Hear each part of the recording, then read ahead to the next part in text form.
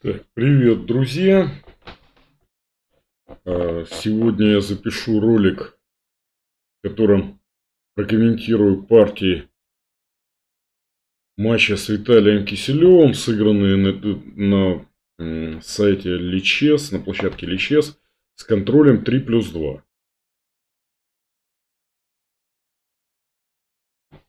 Ну да, и сразу и начну, да, что я тут буду затягивать с этим. Так, давайте попробуем. Так. Первую партию я играл черными. В, в описании к ролику я прикреплю ссылочку на скачивание всех 10 партий. Все 10 партий я прокомментировал, ну, как для себя. То есть, именно как для себя можете скачать. Значит, э, в первой партии ферзевый гамбит. Я предложил сыграть защиту Немцовича. Но от этого, то есть ходом конь c3 белые могли сыграть. Точнее сказать, белые могли сыграть конь c3. И я собирался играть слон b4. В одной из следующих партий у нас это встретилось. Ну, в нашем диалоге Виталий первой партии не захотел защиту Немцовича, тогда я предложил ему поиграть каталон. То есть здесь, может, белые могли сыграть g3. И этого желания у Виталия не было. Он сыграл конь c3. Но здесь огромное количество интересных ходов. Есть ход dc, есть ход c6.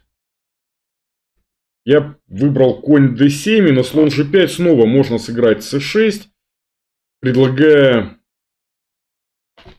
белым поиграть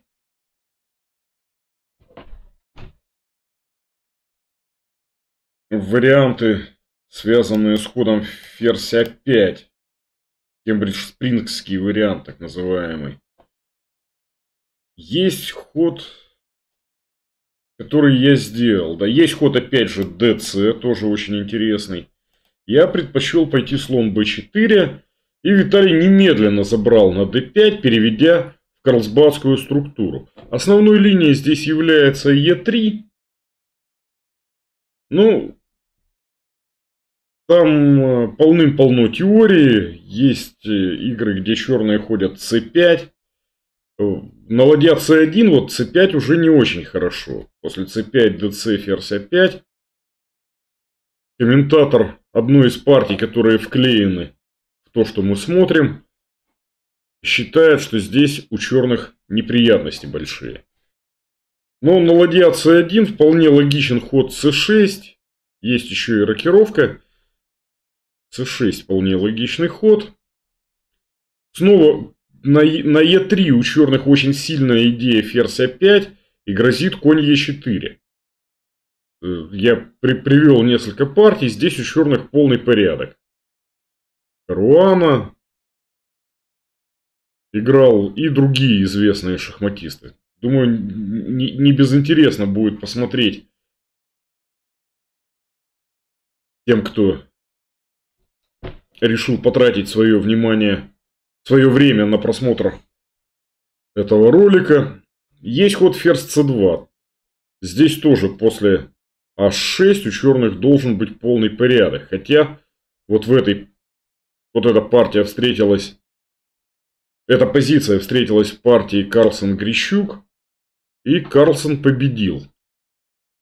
Ну, на Е3 надо было бить, оказывается, на d2. И только потом заходить за слоном g3. И тогда у черных полнейший порядок, может быть даже лучше. Я, э, так, вместо этого Виталий сыграл А3, после слон Е7. Получилась позиция из ферзевого гамбита, карлсбадский вариант, в котором белые потратили темпы на ходы ладья С1 и А3.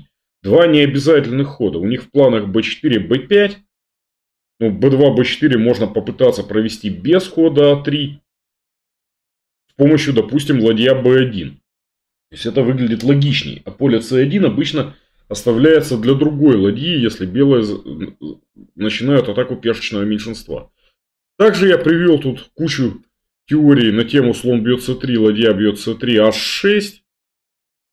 Ну, что были, была такая возможность. По-моему, в следующей нашей партии я э, указал чуть больше, а здесь привел такую линию, что, в общем-то, у черных полнейший порядок. А в случае bc ферзь a5 подвисает пешка а3. И у черных, несмотря на то, что белые обладают пока что преимуществом двух слонов, слон c8 стандартно считается не очень хорошим, но на деле ничего плохого в нем тоже нету. И вот э, эта позиция уже с перевесом у черных. Они опережают в развитии. В общем, стоило взять на c3. Также я рассматриваю интересный ход слон d6. Так Александр Моисеенко, сильный украинский гроссмейстер, играл против э, сильного украинского блицора, тоже гроссмейстера, Александра Зубова. И сумел его вот здесь переиграть, хотя позиция безусловно равная. Ну, примерно такая же равная, какая возникла и у меня с Виталием. Нет, у меня не, не, не, не возникла равной позиции. Извините, что ввожу в заблуждение. Последовало Е3, 0-0, слон d3.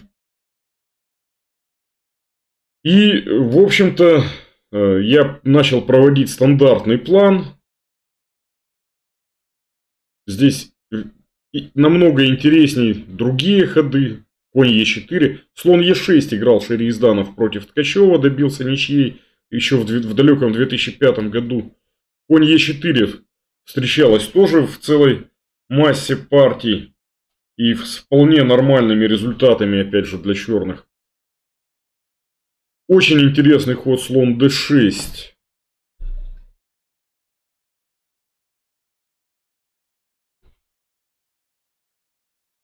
Тоже принес черным победу в одной из партий, хотя, конечно же, о преимуществе черных тут речи, на мой взгляд, не идет. Ну, позиция равная. Без ферзей эта позиция, на мой взгляд, э, совершенно беспроблемная. Я сделал ход g6, ну, стандартный план. Конь идет на g7 и размениваются белопольные слоны. После, после а4 ладья c8, это чтобы белые Пока что о ходе b4 не думали. И здесь стандартный ход b5 решал все проблемы. Черная лошадь перескакивает на c4 и равенство. Я сделал слабый ход конь e4. Белые могли взять на e4, и вот эта позиция у них уже однозначно приятней. Между плюс равно и плюс-минус столбик. А, вместо этого Виталий разменялся на e7 и Позиция визуально приятнее у белых, а на деле ничего особенного нет. А, одна слабость c6, она защитима. То есть, черным главное не получить еще слабость на h7. То есть, после перехода в эншпиль не пропустить момент для того, чтобы сыграть h7, h5, не позволяя путем g4 зафиксировать еще одну слабость. Ну, тем не менее, как определенное давление у белых есть, и после ладья c2 черным надо еще аккуратно защищаться. А последовало конь d2, и здесь удар конь бьет f2. Я даже не стал считать, хотя очевидно, что у черных здесь три пешки за фигуру. Комп дает какую-то несусветную оценку типа плюс 3 в пользу черных.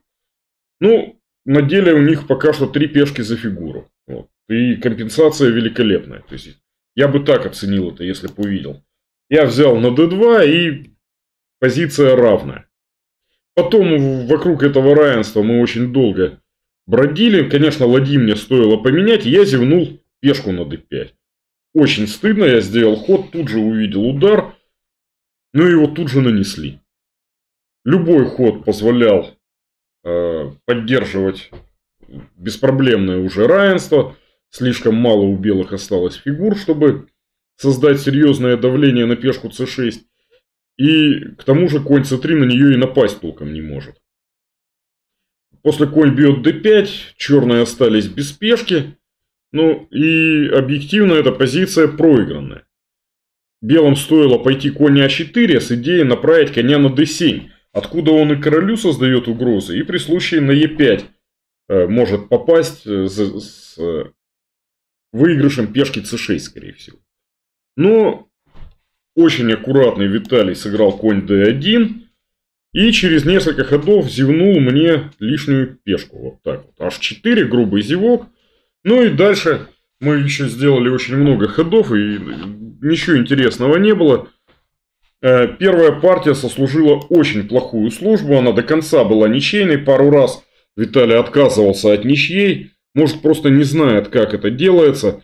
Ну и от повторения ходов тоже уклонялся. В общем, это незаслуженная совершенно победа, позиция ничейная. Э, немножко выбила меня из колеи.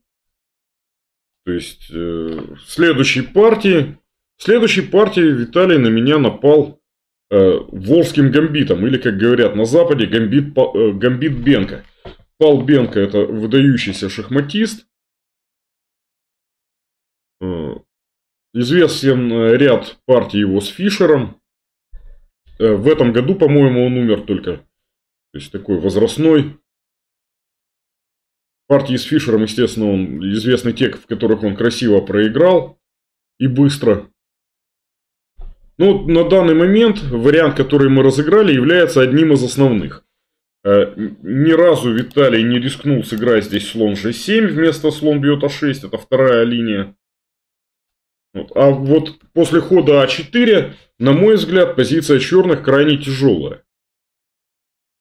Самое простое здесь, это по Сакаеву, ферзь c2. Э, Сакаев, Рязанцев, Ставили ферзя на c2, коня на b5 и вели слона на c3. Вот Рязанцев вел слона на c3. Очень четкое решение. У белых очевидный перевес. То есть э, черные для чего избавились от пешек А и Б? Для того, чтобы э, работать тяжелыми фигурами по этим вертикалям. Э, пешка А4 с конем на Б5 полностью обесценивает их идею. При случае пешка А4 может стать опасной проходной. Ферзь Е2 тоже хороший ход. Здесь есть масса интересных идей.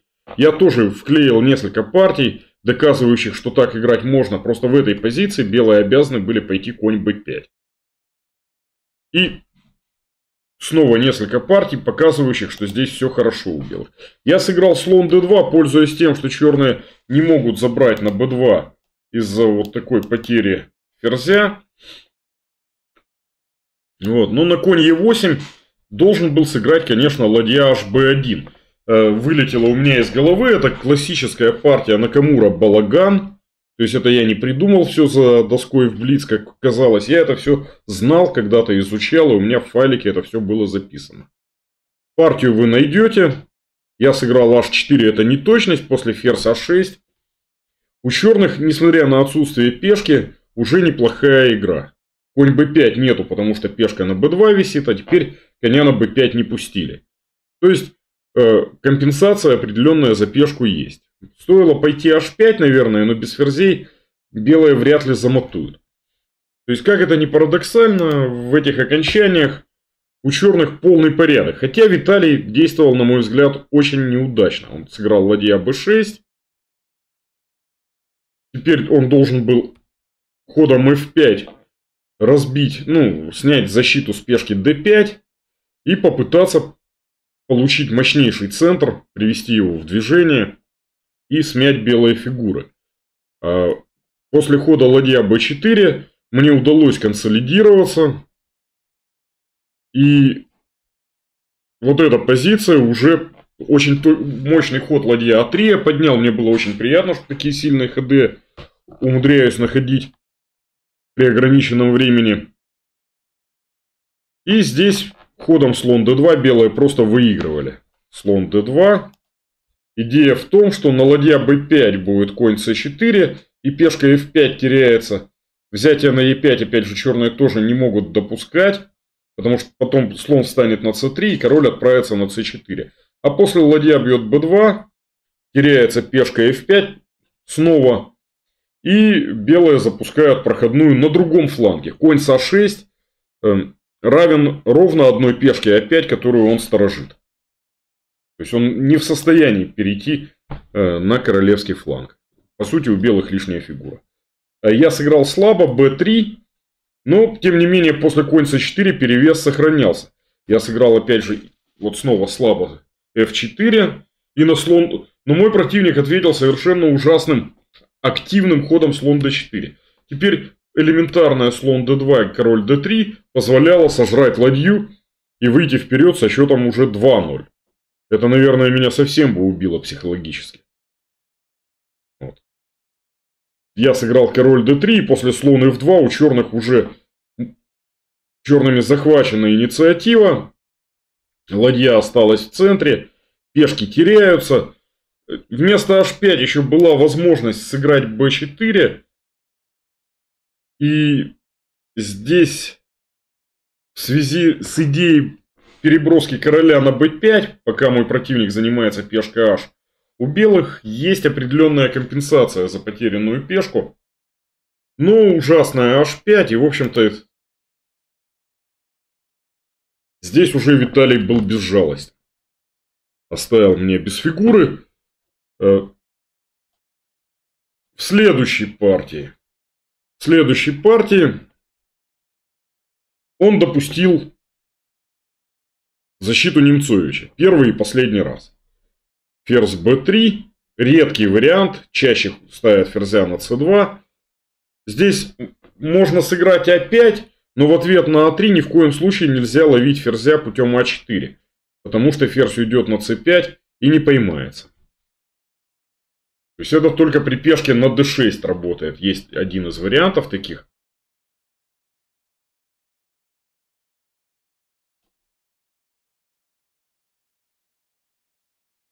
Ход c5 считается сильнейшим. Здесь самым популярным ходом является конь c6. Я сыграл конь a6. Так тоже играть можно. Ход достаточно неплохой. На тему конь c6 я вклеил несколько интересных партий. И первая, которая просто обязательно, э, которую обязательно должен знать шахматист, играющий этот вариант, это партия Штальберг-Олехин, Гамбург, 1930 год. С комментариями Штальберга. Опять это вот. Еще раз меня извините. Конь f3, 0-0, слон g5. Ну и я сыграл h6. Хотя очень интересным является ход ферзь a5. Так играл Корчной. И после слон f6, gf у белых просто тяжелая позиция. Вот после ладья d1, слон b7, конь b3. Здесь достаточно было взять на b3 и сыграть d5, разрушая не разрушая, а открывая линии и добираясь до слабых пешек. Белые не успели закончить развитие. Корчной сыграл чуточку слабее, и Пикет сумел соскочить на ничью в 1991 году. Я сыграл H6, и получилась примерно равная позиция. Ну, тоже ход ферзь G6 не точный, точнее было сначала слона на B7 направить.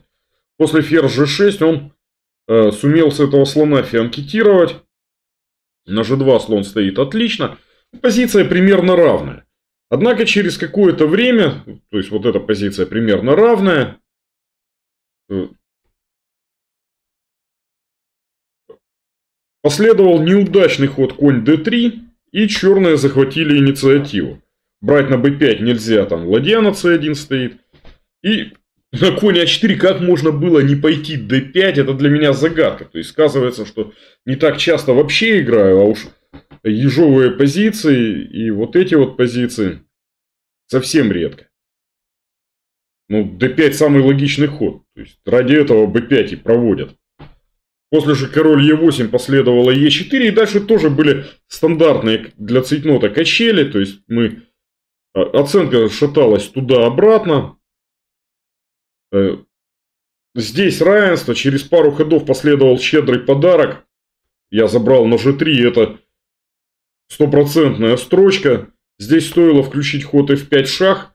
Э, отогнать короля. Но я сразу забрал на h4. Ну, эта позиция все равно выигранная. Совершенно выигранная. Просто на, на ладья h6 просто обязательным являлся ход ладья c2. И потихонечку пешка h2 решает. Ужасный ход слон g1 сделал позицию ничейной. Но ничья у нас обозначается смешным знаком равно. Эта позиция неравная. Особенно в блиц. Пешка d достаточно опасна, а пешку h задержала белая ладья. Заищаться черными чуточку сложнее. И я с трудностями защиты не справился. То есть короля надо ставить на c6 для того, чтобы ничья была. После король d8 позиция уже тяжелая. У меня упал флаг, но и после сильнейшего h1 ферзь, ну там угрожал мат на h8. Позиция черных достаточно неприятна. Хотя, скорее всего, она держится. Пешка d6, пешка a2, обе подвисают. Вероятность того, что черные тут могут спастись, очень высока. Король к пешке d тоже не, не проходит. Итак, после трех партий счет 2-1 не в мою пользу, и это несмотря на нелогичный выигрыш в первой партии.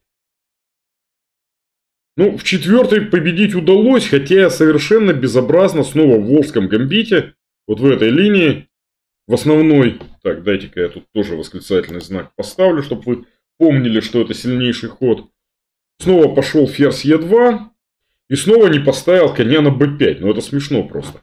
Забыл эту идею, а решил на этот раз отправить коня на c4 очень быстро. Такая идея есть, но после ферзя 6 у черных полный порядок. Белым надо меняться. И здесь идет игра на встречных курсах. То есть, может быть, у белых и лучше, а может и нет. Одну пешку черные точно быстро отыгрывают. Если отыграют пешку А, то пешка b2 проходной считаться не может. Если отыграют пешку Е4, то в опасности пешка d5 будет.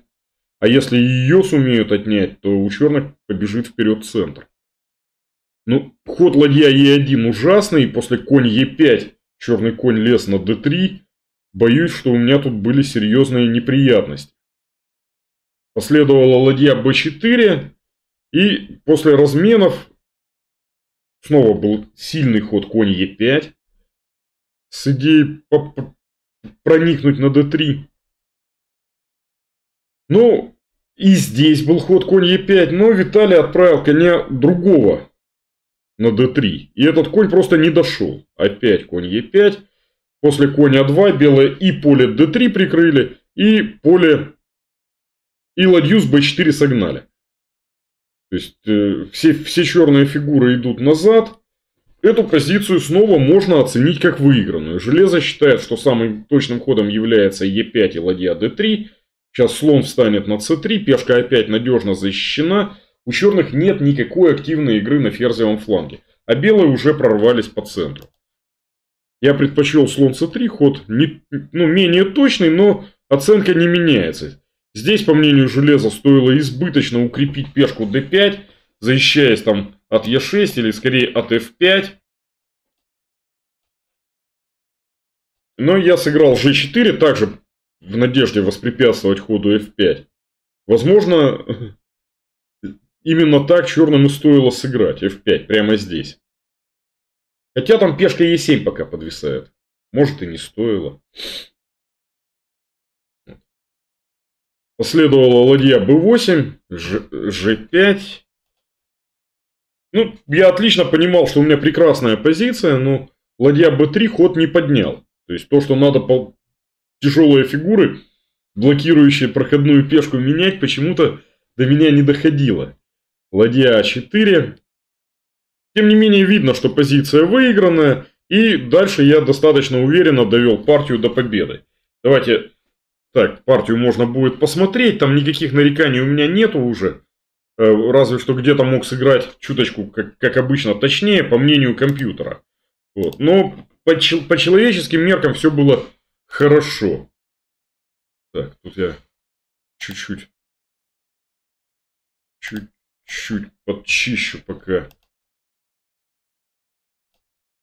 Значит, снова у нас возникла карлсбадская структура ферзевого гамбита из э, моей попытки снова сыграть защиту Немцовича.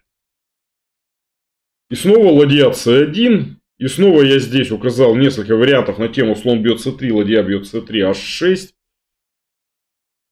А сыграл сам слон e7. Так, про слон d6 я в этой партии даже не упомянул. Ну и снова получил похуже. Е3 рокировка, слон d3. На этот раз я ходу b4 воспрепятствовал путем а5.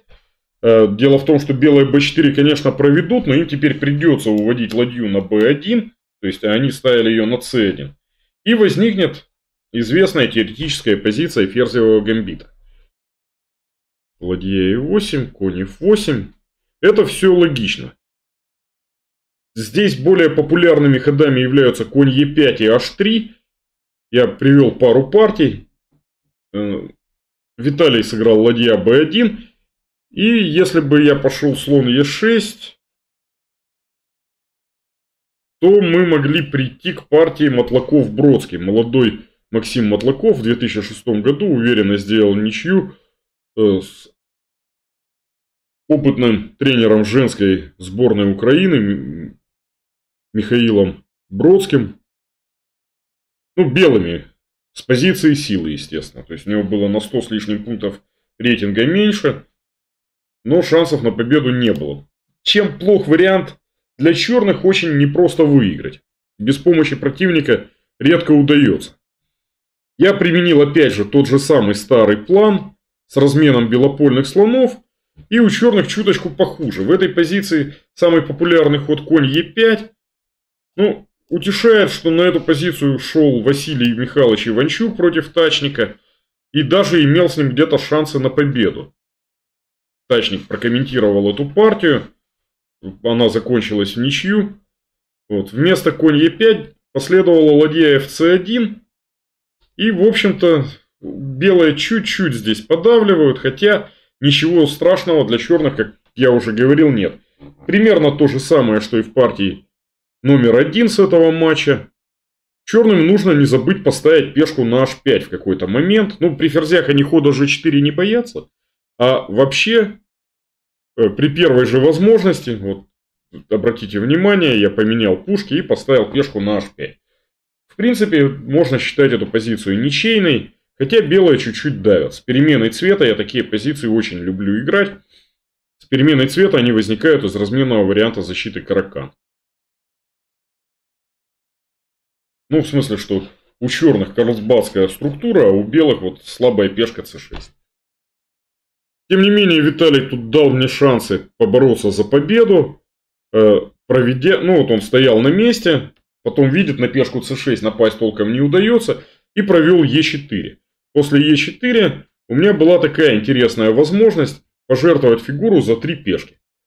Ну и здесь, допустим, разменять ферзей, чтобы ферзь с двумя конями случайно мат не влепили. Ну, три пешки здесь точно не хуже фигуры. Другой момент, что вряд ли можно серьезно рассчитывать на победу. Ну а после конь Е7 э, как-то очень скучно мы пришли к ничьей. Ну скучно, но закономерно.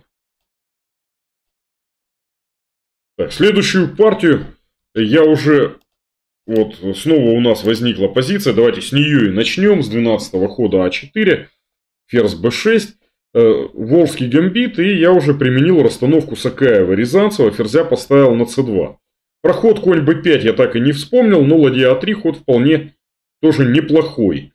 Виталий сыграл очень правильно, он немедленно коня b5 разменял, иначе контр-игры нету. Хода слон d2 у белых нет, висит на b2, но после b3 пешку b3 продавить невозможно. Слон d2 прикрыл поле b4, конь d7 его активизировать крайне сложно, и Виталий решил, что его надо разменять. Теперь у белых появилось, появились шансы на атаку. То есть можно было уже пойти h5 на gh, разменять единственного защитника. В партии последнего тура вы увидите, что атаки по линии h могут быть опасными. В партии последнего тура, извините, заговариваюсь. Пишу ролик все-таки после работы. В последней партии матча. Да, вот здесь стоило пойти h5, попытаться дать мат. Но ферзь c4 тоже неплохо. И в целом эту партию я вел очень, очень, мне кажется, хорошо. То есть после ферзь d3 комп считает, что это легкая победа, мощная отдаленная проходная. Активную ладью c5 белые путем ладья c1 могут разменять, и пешка а идет. Пожалуй, комп прав. Я сыграл ладья а4. Эта позиция тоже э, с перевесом, с большим перевесом. Просто на Е3 я совершенно напрасно взял Фе. Совершенно нормальный ход F4 и отнимать пешку королем. Ладья D3, королем отняли, слон Е1 защищает обе слабые пешки белых, слон F6 не способен включиться в борьбу с пешкой А5. То есть, видимо, позиция черных безнадежная. После хода Fe у белых тоже выигранная позиция, но уже э, выигрыш более сложен. Здесь надо было вернуться на Е2 с тем, чтобы потом уйти королем на F1 и на ладья B3 сбить блок с пешки А. Я пошел король F3 и своими руками попытался партию проиграть. То есть здесь легко выигрывала король c2, король d1 с неизбежным ладья c6. Я же побежал королем на b5. И сейчас был фантастический выигрыш, но я мог его найти только зевнув ладью. То есть я же шахматист серьезный, я ладью зевнул, но потом, позднее. Тут я еще не созрел до зевков. Дело в том, что после слон... Да что ты будешь делать? После хода слон d2 белые отыгрывают качество, остаются без фигуры. И в связи с невозможностью хода слон d4 получают неожиданно выигранную позицию. Это для меня было настолько удивительно. Пока черные будут отдавать слона и забирать пешку А, нападут на пешку А белые, уже отыграв слона, дадут шах по линии F и заберут пешку Е7. Даже приводить вариант не буду, все достаточно понятно. А6, ладья Б3, ладья Б4, позиция все еще выигранная, здоровая, лишняя, далеко продвинутая, проходная. Ну, ладья А1 существенно затрудняла эту победу, то есть заставляла работать и работать. Но последовала слабая ладья А2, и стоило здесь защитить пешку G3, освобождая слона для того, чтобы поддержать короля, пешку. И после прорыва Е5 у белых выиграно. Сейчас пешка Е7 еще проблемы начинаются. Я же сыграл король b6, то есть зевнул ладью, но немножко, ну не зевнул не ладью, а зевнул, зевнул все пешки, зевнул размен. После этих разменов э, шансов спастись нету, на Е7 не нападешь. В общем, черные свои слабости легко защищают, а белые ну никак не могут. Итак, снова вышел вперед Виталий, и в следующей партии я решил на него напасть гамбитом Блюменфельда. Гамбит очень рискованный, к тому же я давно его не играл, и поэтому на А4 сделал тут же очень слабый ход. Просто обязательным является ход b4, после чего у белых должно быть лучше, но у черных есть определенные тактические идеи, ну, так же, как, допустим, э, в защите Бинони черные добровольно идут на худшие позиции, но есть известная динамика. Здесь она тоже есть, она хуже, чем в защите Бинони, но есть. Я же сыграл БА, чтобы вскрыть линию Б. И ходом ферзь бьет А4 меня ставили перед... Могли поставить перед серьезными проблемами. Слоном закрываться не хочется, потому что белый ферзь может отправиться там при случае на b7. А если закрыться конем, то на ладья b8 белые заберут на а6, и у них явно лучше. А на ладья а7 эту позицию тоже, я думаю, оценит любой более-менее квалифицированный шахматист. Правильно.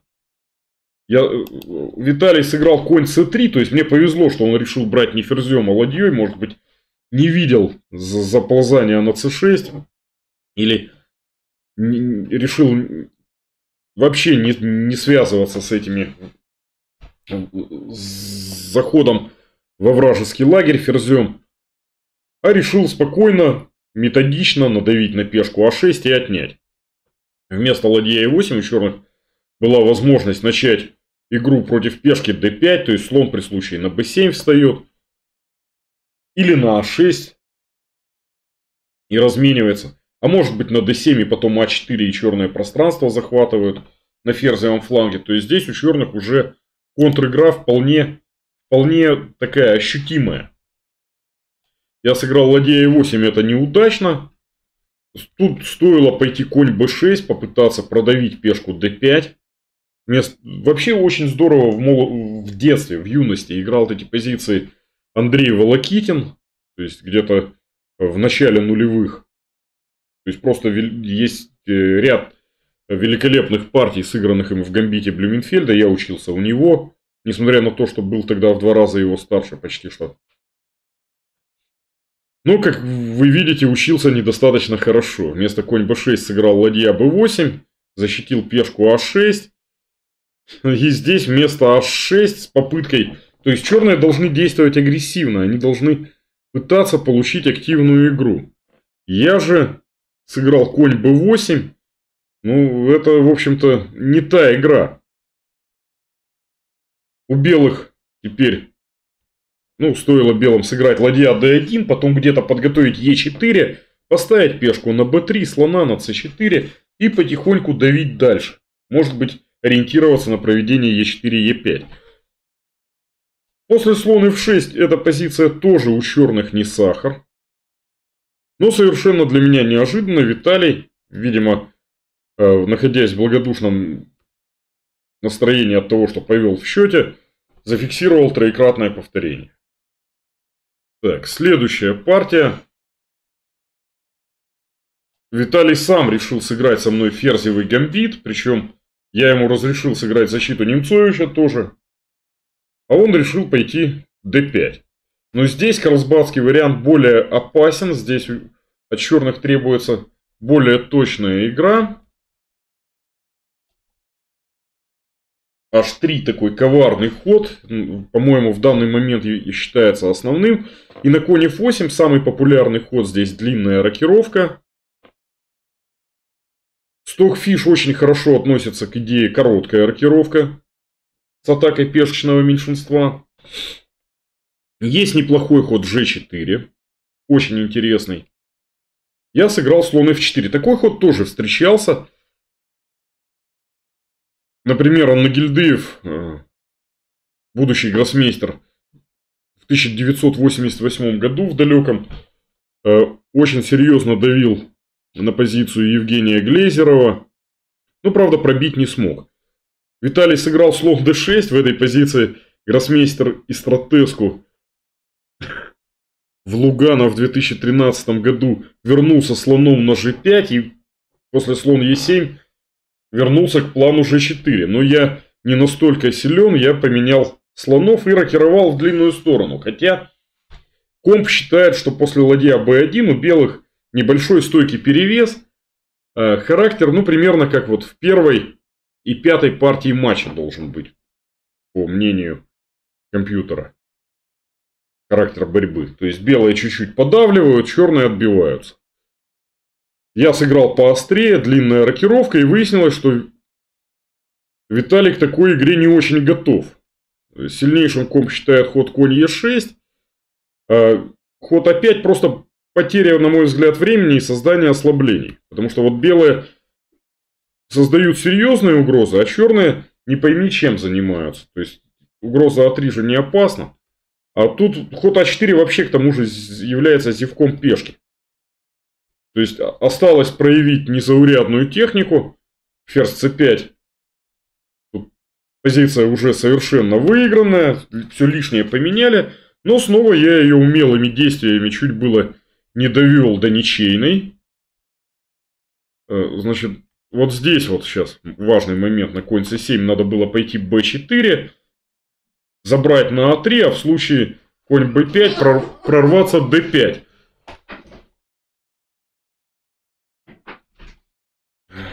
Ай-яй-яй-яй-яй. Значит, последовало f6. В общем, я пошел конь e5, это не точность. И дальше Виталий очень здорово защищался. Серия ходов, которые одобряет комп, а я их просто не видел. То есть король смело встал на g7 и ничего не боится. Мне казалось, что какие-то отскоки могут быть. Но, тем не менее, стоять вот под таким... Э... Так, давайте перефразирую. Находиться в противостоянии со, с такой опасной ладьей крайне неприятно, и последовала решающая ошибка. Последовала король f7. После f5, конечно, белым еще выигрывать и выигрывать, несмотря на лишнюю пешку. Дело в том, что ладья с d3 не имеет права, ну, должна стоять на своем месте, чтобы не пустить коня на поле c3. Белые, по сути, играют без короля, и на деле позиция здесь на 3 результата, а вовсе не на 2, хотя перевес у белых. А после король f7 белый конь проник на f5, и здесь уже все очень просто, и моей техники хватило, моей незауряд, незаурядной, повторюсь, техники, хватило для того, чтобы добить противника. Так. Следующая партия. Следующая партия. Виталий меня... Так, счет у нас стал равным 4-4. И Виталий меня порадовал э, лондонской системой. Я избрал ход слон Е7. Основным ходом является слон d6.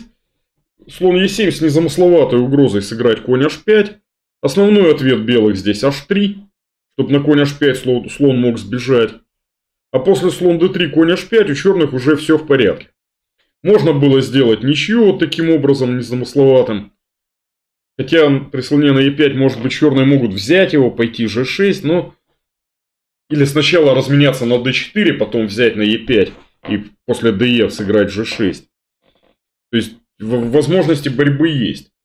Э, на мой взгляд, не опасно для черных. А что ты будешь делать? Выскакивает всякая ерунда. Вот. А Виталий отступил на g3. Основным ходом, то есть чаще всего здесь встречалось конь бьет g3. Лучшую, так, э, нормальным является ход рокировка, на g3 взять успеем всегда. Неплохим является ход ферзь b6, не определяясь пока с королем. Лучшая статистика ухода, который сделал я, g6. Белые набрали 22% очков. Ну и G6 играли очень многие сильные шахматисты. Я привел партии, то есть несколько партий, в которых это было, они все вклеены. В файлике вы их найдете. Итак, в этой позиции против Ротштейна играли ладья d1, но ход слон e5 мне кажется более логичным. Мне, в свою очередь, стоило сыграть ферзь b6, попытаться вынудить 3 0, потому что здесь идет просто накат. Я предпочел f6, ход неплохой, но на слон g3, ферзь b6 уже надо было пойти. Черт меня дернул здесь взять на g3, ход ужасный. У белых заработала ладья. На f5, естественно, g4. У черных накат на ферзевом фланге вроде бы есть, но там нет белого короля. То есть я не заставил его там оказаться. Ай-яй-яй. b5 ход слабый. Надо было укрепить позиции в центре. Не пустить коня на e5. Коня c6 от всякой тактики защитить. На ход ферзь d6 стоит обратить внимание. То есть поле e5 очень важное. Сейчас увидим почему. После gf, ef я-то считал, что у меня тут дармовой заезд, если честно. Серьезно переоценивал позицию.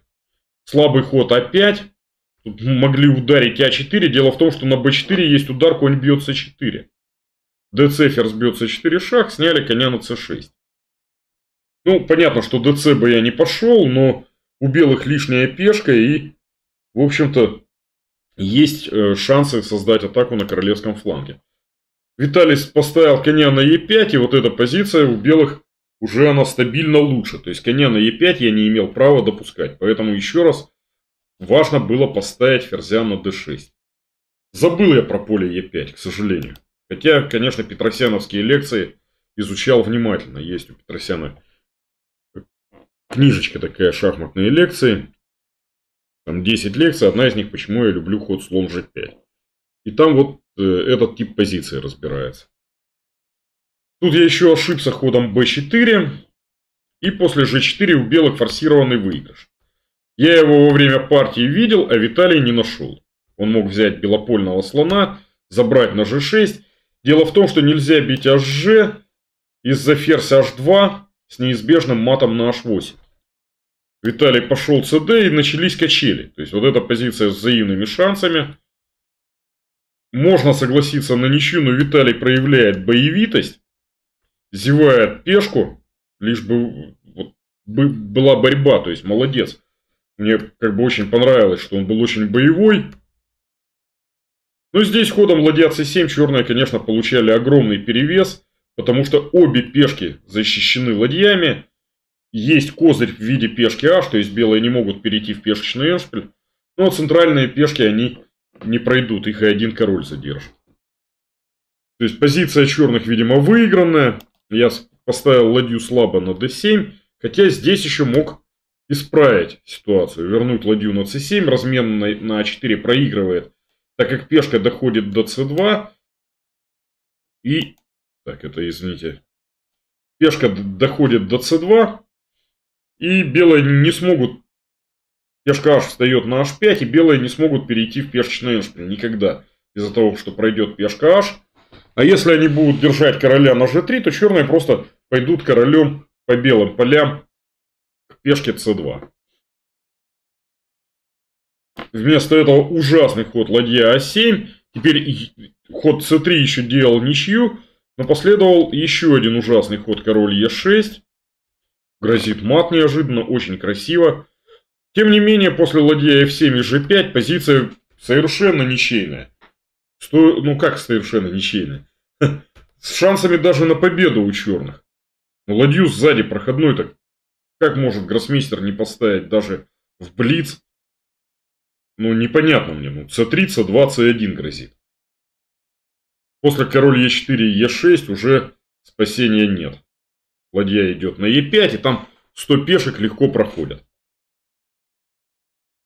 Итак, перед последней партией Виталий ведет со счетом 5-4 и принципиально идет Волжский гамбит. Здесь я снова вместо конь b5 играю ладья а3. Он ведет коня на c7. Но здесь, конечно, надо было пойти h4. Но после конь b5 забывает сыграть конь c7. И позиция становится реально безнадежной. Особенно после хода конь b8. Вместо слон d2, кстати, интересно было закинуть коня на c4 и просто укрепить его путем b3. Тоже э, очень безрадостно у черных. Сейчас пешка h отправится, а чернопольного слона путем слон b2 в нужный момент белые разменяют. Я сыграл слон d2 по плану. И после ужасного конь b8, слон c3 у черных железо оценивает проиграно, и это проиграно было до конца партии. То есть, самое простое было взять на g7, пойти h5, и нет защиты от ферзь d2, или если черные возьмут на b2, то ферзь d3, защитили коня ферзь e3 и ферзь h6. То есть тут матовая атака. Здесь тоже матовая атака после размена. Самое четкое было e5. И ферзя туда подкинули тоже. Очень быстро белые должны выиграть. Но я играл, может быть, не очень четко, но исключительно надежно выигрывал. То есть эта позиция совершенно выиграна. Ну как может гроссмейстер не найти ладья h8 с матом? Это загадка. После конь e6, конечно, тоже позиция белых совершенно выиграна.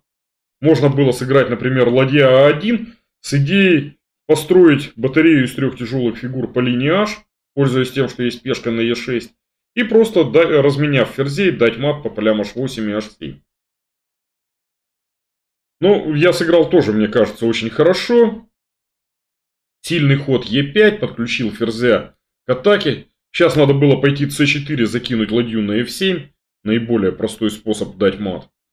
Вместо этого я взял на g6, что тоже неплохо. Привел ладью на b7 и сейчас а, отправлю вторую ладью. Ну, как можно здесь не выиграть, это вообще загадка. Ладья g4 нормальный ход, но поменяй просто ферзей и направь ладью на h1. Ферзь g5 тоже выигрывает. Красивая жертва ферзя тоже выигрывает. Но почему же я отпустился на b7, когда я взялся за ладью и увидел, что вот сделав вот такой ход, еще не отпустившись, что будет ферзь а8. Ну почему ж не взять на e7? И все. И пешка прошла. Ну фантастика. То есть Э, такое жесткое наказание за расслабленность. В общем-то, хороший урок. Надеюсь, что в следующем матче с Виталием все уроки, про которые я вам здесь рассказал, я учту. И хотя, скорее всего, у нас будут другие дебюты, и белыми, и черными, э, дело, как вы видите, здесь было вовсе не в них, не в дебютах. Ну что ж, всем спасибо за внимание. Матч я проиграл 6-4 но тем не менее не расстроен. Все. До свидания.